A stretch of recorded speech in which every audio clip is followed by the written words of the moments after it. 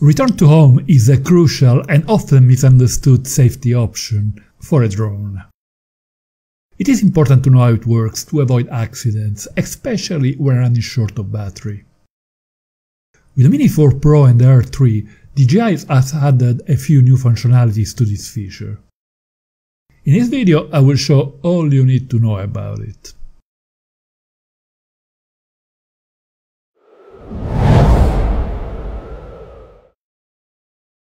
There are three different situations when a return to home is initiated. It is possible to trigger a return to home at any time by holding the button on the left of the remote controller. Another possibility is the tap on the H icon on the left of the screen. A choice will appear between landing or return to home. The aircraft will immediately turn towards the home point's direction and start returning home. Before using this feature, make sure that the home point doesn't have obstructions above, like trees or building. The drone itself should also be in a location free from obstacles above, before triggering a return to home. In the Safety tab of Settings, it is possible to choose Advanced Safety Settings to specify the behavior in case of signal loss with the following options. Descend, over and return to home. Descent is to be avoided, as the drone may end up in water, or someone's property, or over trees or bushes. Over is the best choice when flying under trees or other obstacles, as the aircraft will remain in a stationary position, and we can take manual control. On all other occasions, return to home is a good option. When a return to home is triggered under these first two situations, it is possible to abort it by tapping on the Cancel Return to Home icon on the left of the screen. By tapping on the icon showing the percentage of battery left on top of the screen, we can visualize how much time we have until the battery is depleted, until forced landing, and until a return to home. When the battery runs below a specified threshold, a return to home is initiated.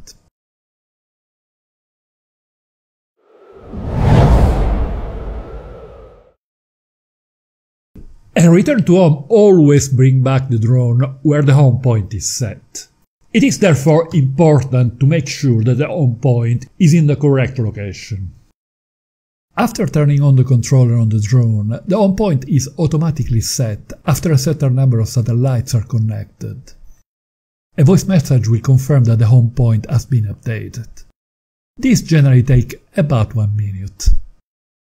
I suggest waiting for the voice message before moving away from the takeoff point to make sure that the home point will be in that position. If we fly out immediately when turning on the controller and the drone, the point will be set farther away, which can confuse when returning, especially in case of low battery. If the operator moves during the flight, for example on a car, on a boat, on a bicycle, or while hiking, the home point remains in the original position, and this is something to be aware of. If a return home is initiated, the drone might fly in an unexpected direction, maybe even further away from the operator. This can be dangerous because of obstacles or when running short of battery. The position of the home point is shown on the map by a yellow circle around an H, while the remote controller is shown with a blue dot and the aircraft with a triangular shape. It is possible to modify the position of the home point at any time in the tab Safety of the settings by selecting the option Update Home Point. A map appears on the screen with the position of the home point relative to the aircraft and to the controller. It is possible to drag the yellow circle on the map to move it manually, or it can be automatically updated to the position of the aircraft or the controller by tapping on the two icons on the right. In most cases the best option is to automatically set the home point to the position of the controller.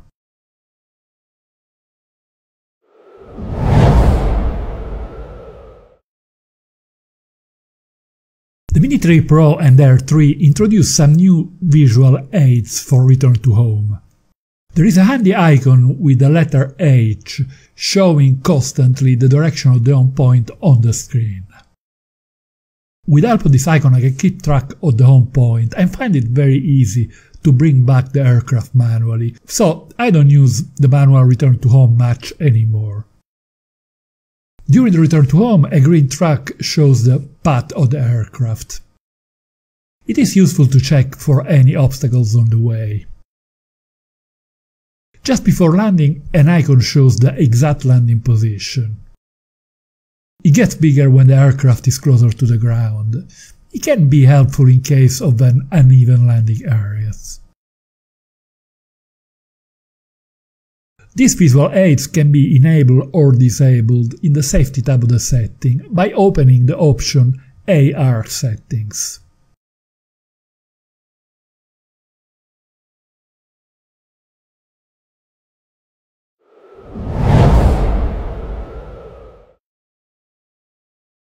In the Mini 4 Pro there are two different types of return to home that can be chosen in the Safety tab of settings, in the option Advanced Return to Home. Preset is the traditional one. The auto return altitude must be specified in the safety settings just below Advanced Return to Home. When return to home is triggered, the aircraft will ascend to the specified height before flying toward the home point, and then descend to land. Even though the Mini 4 Pro is equipped with omnidirectional obstacle detection, the return altitude must be set at a height above all surrounding obstacles, but not too high, as otherwise it will take longer to ascend and redescend for landing, which could be dangerous if we are running out of batteries. In most cases, in a flat environment, a height between 30 and 40 meter is suggested.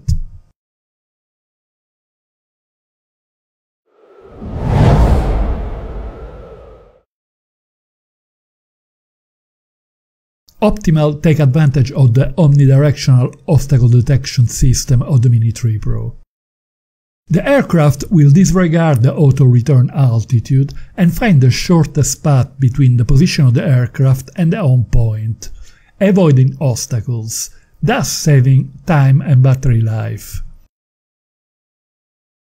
Some care is needed in case of wiry obstacles such as electric lines and bare branches, as they are not easily detected by the sensors. In low light conditions, obstacle detection is not available. So the drone will ascend to the auto-return altitude and fly to the home point, but it will not be able to avoid obstacles, so extra care is needed. Click on this link to watch my playlist covering all the different aspects of the Mini 4 Pro. And don't forget to hit the like button if you found this video interesting. Thank you.